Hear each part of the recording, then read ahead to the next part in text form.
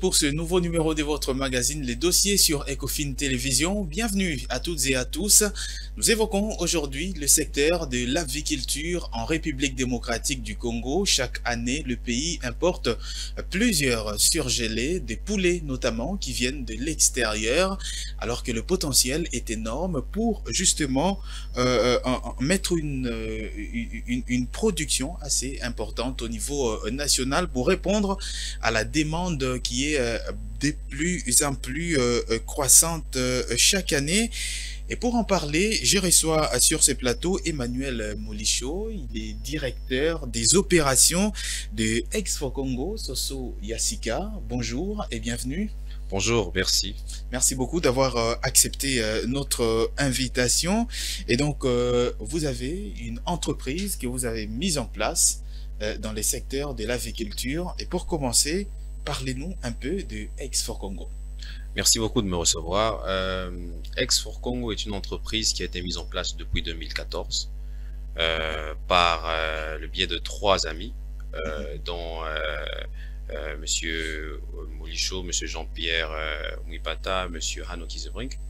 Ils ont décidé de changer la donne qu'ils voyaient en République démocratique du Congo avec l'importation avant des œufs et l'importation actuelle euh, qui continue euh, de, de surgeler. Ils se sont dit pourquoi ne pas produire ici à Kinshasa localement mhm. des œufs pour la population. Mhm. D'où le nom Eggs, for Congo. Mhm. les Lorsque vous parlez de Eggs for Congo, le Congo, c'est notre Congo ou le Congo d'en face? Oui, c'est vrai pour euh, des raisons commerciales. Ex for Congo, c'est juste la RDC, bien sûr, mais on ne pouvait pas dire ex for dire, euh, dire Congo. on, a, on a décidé de garder ex for Congo. Mhm. Donc l'idée principale était la production des œufs. Et au fil du temps, depuis 2014, avec les différents challenges qu'on a reçus, qu'on a eu, euh, la construction de la ferme qui n'a pas été facile, mhm. euh, les tensions politiques qui n'ont pas permis à ce que certains partenaires puissent nous joindre. Mhm. par après, en 2000 18, nous avons effectivement euh, euh, commencé la construction de la ferme pour finir en 2021, après avoir reçu encore, euh, traversé encore une période de turbulence avec des pluies qui ont cassé des bâtiments. Mhm. Et en 2022, nous avons lancé l'activité avec la poule pondeuse qui n'avait pas commencé, je, je, je, me trompe, 2021, la poule pondeuse qui n'avait pas marché parce que justement l'objectif et euh, les contraintes de terrain ne se sont pas alignées. Mhm.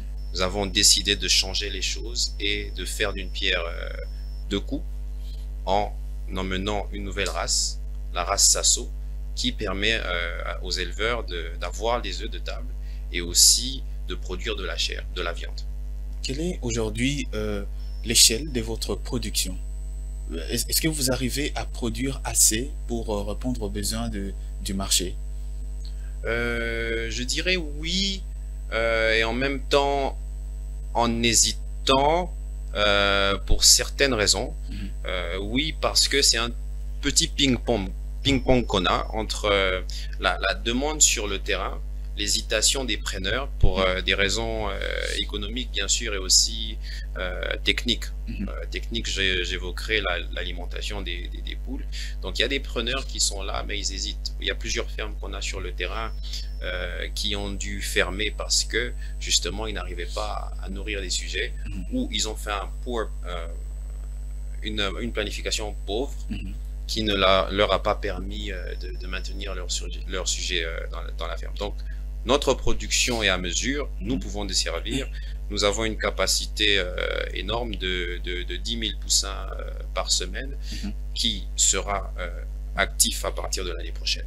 Qui sera actif à partir de l'année prochaine. Et à cette étape, où est-ce que vous êtes installé? Est-ce que à Kinshasa ou vous pensez vous étendre dans d'autres pays de la, de la région d'Afrique centrale notamment? Euh, pas s'étendre dans d'autres pays de la région d'Afrique centrale, mais c'est ma raison d'ailleurs pour, c'est la raison d'ailleurs pour laquelle j'ai décidé de revenir au pays parce que je suis géologue et géographe de formation. Euh, quand j'ai vu comment les choses se passaient ici euh, avec euh, la compagnie et je me suis décidé de, de, de, de joindre ma main pour qu'il y ait plus de force. Mhm. Parce qu'avec le thème actuel de la revanche du sol sur le sous-sol, c'est vrai. Mhm. il faut que nous puissions nous-mêmes prendre notre avenir entre nos deux mains mhm.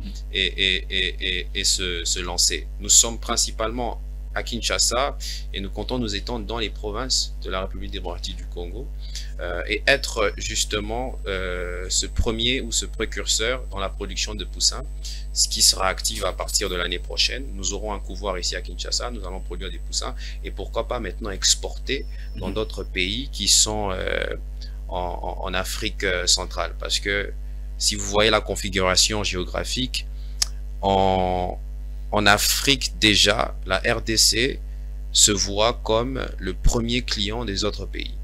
Parce que la RDC ne produit pas assez. Mhm. Donc, euh, nous importons des poussins à grand nombre, nous importons de la viande à grand nombre, nous importons du lait, nous importons toutes choses.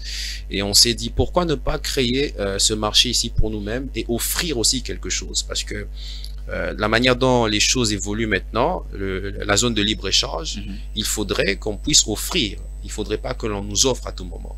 Et voilà pourquoi j'ai décidé de rentrer et de faire partie euh, de ce mouvement qui est en train de naître. Hein. Plusieurs jeunes vont, vont, se joindre à nous, plusieurs jeunes sont déjà là et on va, on va se battre pour euh, exister. Quelle est, quelle est, aujourd'hui la recette pour pouvoir lutter contre cette importation qui est devenue pratiquement euh, nuisible, on peut même le dire ainsi, à l'économie du pays parce que c'est des millions de dollars que l'on dépense chaque année pour euh, l'importation des surgelés, notamment euh, des poulets. Oui, nuisible, certains diraient, et profitable, d'autres diraient, parce que en important, c'est aussi d'autres entrepreneurs. Oui, mhm. je ne suis pas là pour les combattre, mais plutôt je, je ferai la promotion de production locale en, disant comment résoudre ce problème, il faut encourager euh, l'élevage local. Il faut encourager les éleveurs.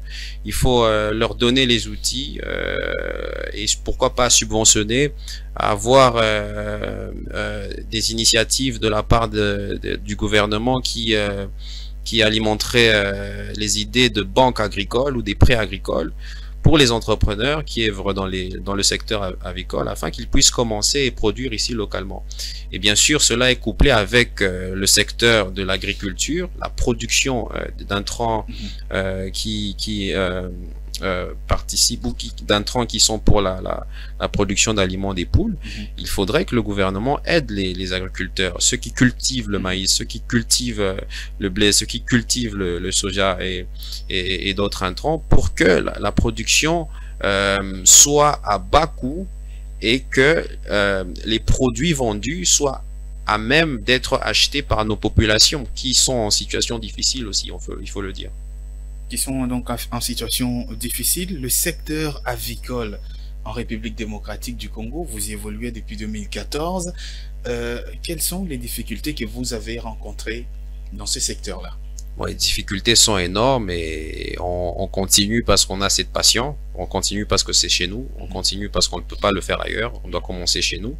Les difficultés du point de vue euh, infrastructure sont énormes. Euh, quitter euh, Kinshasa pour aller ailleurs, c'est compliqué. Et même avec le pouvoir, euh, nous sommes en train de, voir plusieurs options pour servir les populations en province. Euh, J'ai récemment été à Chicapa jusqu'à Luebo et, et c'était pas du tout facile avec des poussins. Donc euh, l'infrastructure est un problème. Les allègements fiscaux aideraient beaucoup. La motivation, l'attention euh, continue du gouvernement aiderait, aiderait aussi.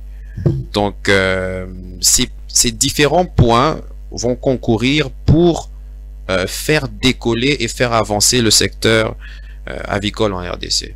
Lorsque vous parlez des allègements fiscaux, qu'est-ce que des, des, allègements fiscaux, pardon, qu'est-ce que vous qu'est-ce que vous, vous, sous-entendez par là concrètement? Que l'on supprime certaines taxes qui, qui vous sont imposées? Je dirais qu'il faut encourager en en donnant effectivement euh, des exonérations à tous ceux qui sont dans le secteur avicole, à ceux qui sont dans l'agriculture, il faudrait qu'ils puissent euh, avoir un allègement qui les encourage à continuer et, non les décourage. Parce que euh, la plupart des produits que, les, agriculteurs et aviculteurs utilisent dans leur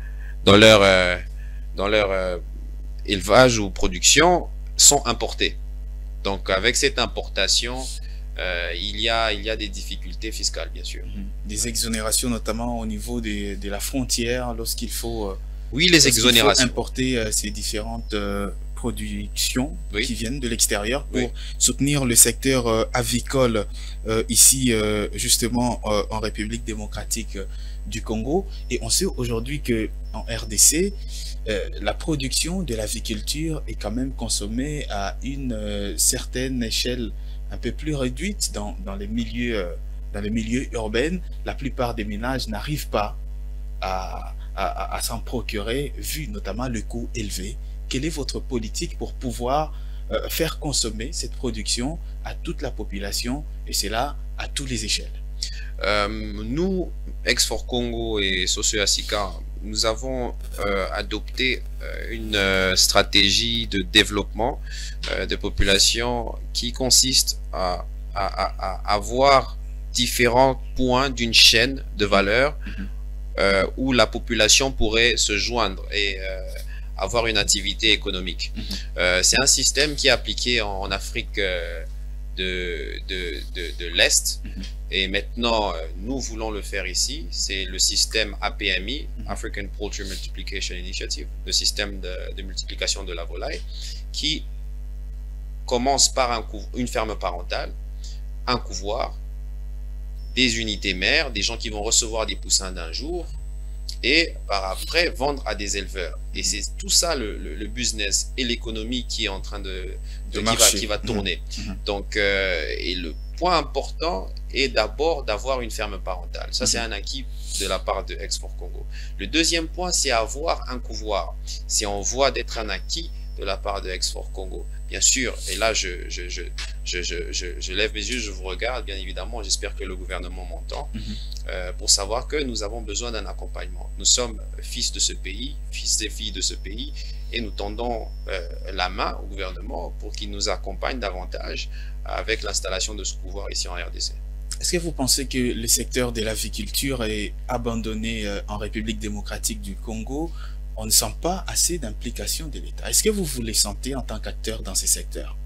Euh, Je sens l'action, je sens la participation de l'État, mais qui est, euh, euh, qui est éparpillée. L'État n'a pas un plan, je sens pas le plan précis de l'État. Ils sont éparpillés. Peut-être que en consultant les acteurs sur place, sur le mhm. terrain, ils auraient le plan qui aiderait le secteur avicole et l'agriculture dans le pays. Euh, regardez par exemple la production de maïs. Le maïs est un intrant qui euh, participe à, à 60-70% dans l'alimentation des poules. Et le maïs, non seulement cela, c'est consommé à grand, à, grand pourcentage ici en République démocratique du Congo. Mhm. Et le maïs est utilisé aussi pour d'autres industries euh, pharmaceutiques, des industries brassicoles. Brassicoles, donc surtout brassicoles. C'est une, guerre autour du maïs. Or, la République démocratique du Congo ne produit pas assez de maïs. Mhm. Donc, il faut commencer par là. Il faut que le gouvernement appuie cela. Parce que si vous achetez la tonne de maïs à 400 dollars, comment vous allez faire des profits? Comment vous allez euh, résister si vous êtes petit? Vous n'allez pas résister. Donc si on produisait le maïs à 200, 250 dollars, ça pourrait quand même aider. Mhm. Donc tout le monde se retrouverait dans la chaîne et on éviterait bien sûr d'avoir euh, des fluctuations de prix de maïs et des euh, incertitudes dans les, prix des produits. Alors, vous avez évoqué notamment les agriculteurs de, de maïs qui, qui s'organisent quand même, on les voit en, en, coopérative. Mais est-ce que au niveau du secteur avicole, vous vous organisez aussi de cette façon-là? Oui, euh, nous avons une plateforme, la plateforme avicole de Kinshasa, qui euh, va prendre, euh, qui va qui va naître dans les jours à venir. Mhm. Cette plateforme est un rassemblement de tous les aviculteurs, mhm. petits, grands. Je n'aime pas utiliser petit et grand parce que tout le monde est, est, grand dans l'aviculture. On apprend tous les jours. Mhm. nous appelons tous ceux qui sont dans le secteur de l'aviculture à nous joindre. Mhm. C'est une plateforme qui va prendre naissance euh, dans les jours à venir et euh, va donner euh, de l'impact à ceux qui se sentaient lésés. Euh, nous allons appuyer ces gens par des techniques, nous allons partager les connaissances et justement le plan dont je vous ai parlé ici euh, d'application, de multiplication de la volaille sera, euh, sera aussi communiqué mhm. dans cette plateforme et je communique et je viens vers vous pour annoncer aussi qu'à partir de l'année prochaine, ça sera 10 000 poussins par semaine produits ici et vendus à Kinshasa pour les aviculteurs, non seulement de la plateforme, mais d'ailleurs qui voudraient joindre la plateforme. Vous êtes au nombre de combien actuellement dans la plateforme? Nous sommes actuellement à, à, 54. 54 tous acteurs, tous acteurs dans le secteur avicole. tous acteurs dans le secteur avicole et nous continuons toujours d'enregistrer des, des, des, membres et euh, on ne ferme pas la porte, mhm. on l'ouvre grandement, elle ne sera jamais fermée pour que nous puissions avoir une voix, que nous puissions euh, parler d'un même euh, langage pour justement développer notre secteur pour développer justement le secteur euh, avicole, ce qui est très très important. Parlez-nous un peu de vos différents partenaires. On note également euh, certaines ambassades ici ici en RDC. Euh, oui, euh, nous avons été accompagnés, c'est vrai, par euh, l'ambassade des Pays-Bas, mhm. un partenaire important de, notre projet. Depuis le début de ce projet, depuis 2014 en tout cas, mhm. l'ambassade des Pays-Bas nous a accompagnés. Voilà pourquoi je, dis je tends la main à notre gouvernement. Mhm. nous avons Hendrix Genetics, qui est une compagnie lead dans le secteur de la génétique. Ils sont euh, premiers dans la production euh, des, génétiques pour les poules, pour la volaille, pour les, porcs et les vaches. Ils sont, mais, principalement, nous appuyons sur eux pour la génétique des volailles. Nous avons euh, euh Group, qui est dans la production d'aliments pour, pour bétail. Nous avons Nusana, qui est dans la production pour aliments de volaille. Euh, nous avons Vetco qui est dans la production de produits euh, vétérinaires. Donc nous avons différents partenaires également locaux.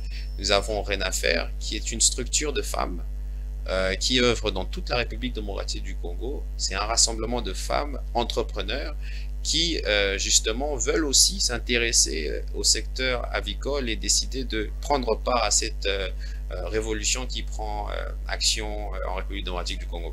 Hmm. Une révolution qui prend donc action en RDC. Vous prévoyez d'importer jusqu'à 20 000, euh, poussins Soso T451 à la ferme Mbenzala. Euh, comment vous allez vous y prendre? 20 euh, 000 poussins, c'est, ça c'est une étape qui était qui est déjà passée. Mhm. qui est déjà passée. Nous sommes sur la prochaine étape de 10 000 poussins par semaine. Mhm. L'étape de 20 000 poussins était une étape expérimentale euh, qui a Comment ça s'était passé? Voilà, qui a, comment ça s'était passé Nous avons euh, reçu des sujets chez nous, nous avons mhm. expérimenté ces sujets pendant toute l'année. Mhm. Nous avons vu la capacité de cette poule, elle est euh, rustique. Elle a, c'est une très bonne viande, elle résiste aux conditions ici en République démocratique du Congo.